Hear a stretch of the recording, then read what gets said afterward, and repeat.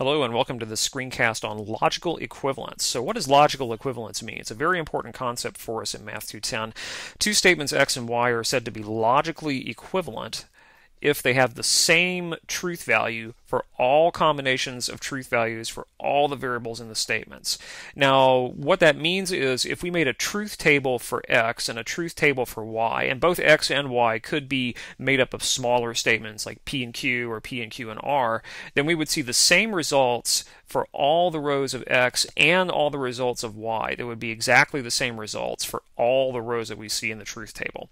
And what that means in sort of a non-technical sense is although x and y may be statements that look different from each other, that read in English different from each other, logically they always mean the same thing. So logical equivalence is a really powerful idea for us because in working with statements and proving statements, we're, going to be able to rewrite one statement in another form that might be easier to understand but has the same logical value.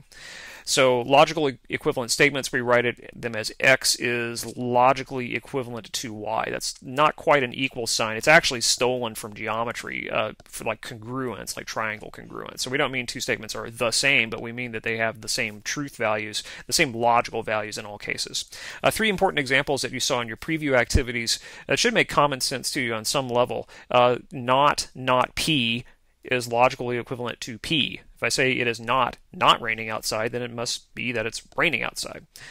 Two other examples, very important here. Uh, we're going to revisit these in later uh, screencasts. P implies Q uh, is logically equivalent to not Q implies not P. So this gives us another way to rewrite a conditional statement in a slightly different form. And uh, very importantly here, the negation of a conditional statement. If I want to negate the statement P implies Q, it's actually not a conditional statement at all. It's P and not Q.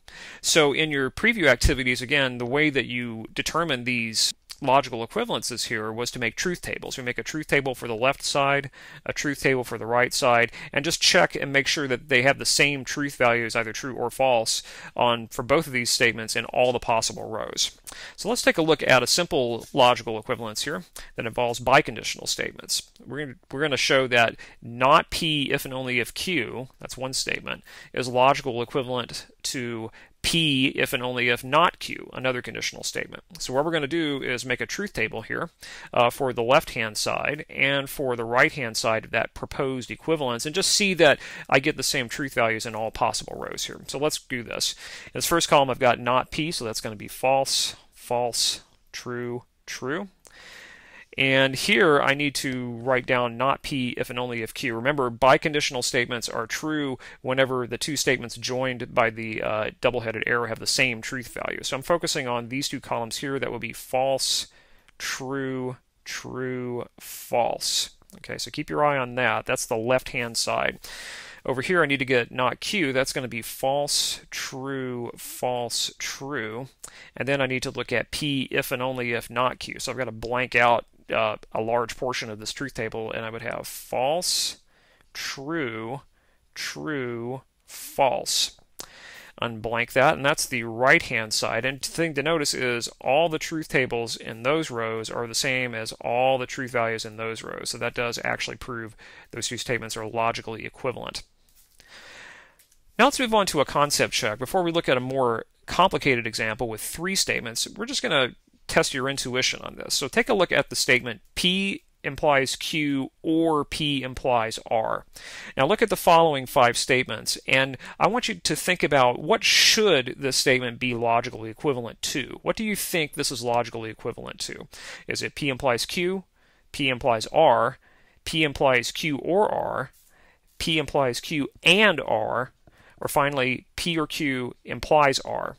Think it through, make some English examples up while you pause the video, and when you come back, we'll check the answer.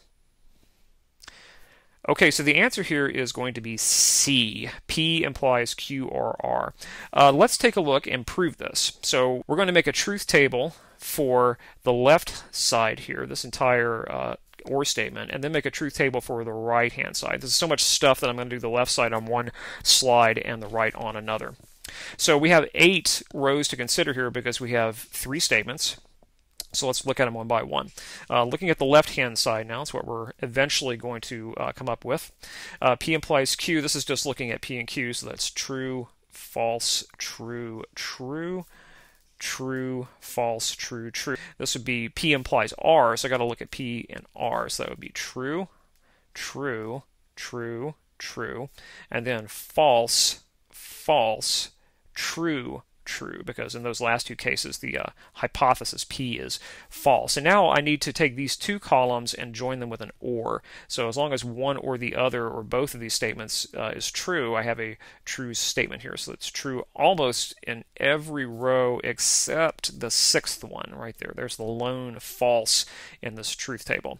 Okay, so all true except for that sixth row.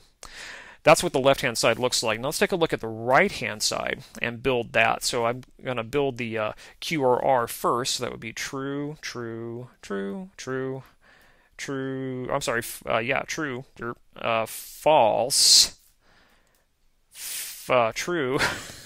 and false. It's easy to get turned around on these things. So that's those two rows where you had false were where both the statements were false. Now I need to look at P implies Q or R. So there's the hypothesis. Here's my conclusion. So true, true gives me true. Okay, conditional statements are always true except in one case, and here it's coming up here. That's when the hypothesis is true, but the conclusion is false. So there's the one place where I have uh, I have the uh, false there. Now, if we just hold on to this and back up a slide, uh, that's exactly the same result as the uh, left-hand side. So the left-hand side shakes out like this, the right-hand side shakes out exactly the same way. Therefore, those two statements are actually logically equivalent as we said they should be. Let me just page back to the concept check. It's it's fairly easy to see that these two can't be logically equivalent to this, but some of these others you might have guessed uh, incorrectly here, like this one and this one uh, actually don't work, uh, but you might wonder why. So let's take a look very quickly at the results of the truth table uh, for E, just for an example. Uh, so I've made up the entire truth table here to show that P implies Q or P implies R is not logically equivalent to P or Q implies R. Let's just take a look at how the truth tables work. Now, I'm not going to construct the truth tables. You should do that on your own. Uh, but here are the results. And again, here's the results that we got in the previous work. And if you make the truth table for P or Q implies R, what you notice here are two differences. Okay, in that fifth row and in the seventh row, there's situations where P and Q and R are a certain configuration, but the first statement ends up being true, but the second one is false. So that means that they are not always logically the same. A lot of times they are, but not always. And because they don't have the same truth values in all rows for all configurations of the variable, those two statements are not logically equivalent. Thanks for watching.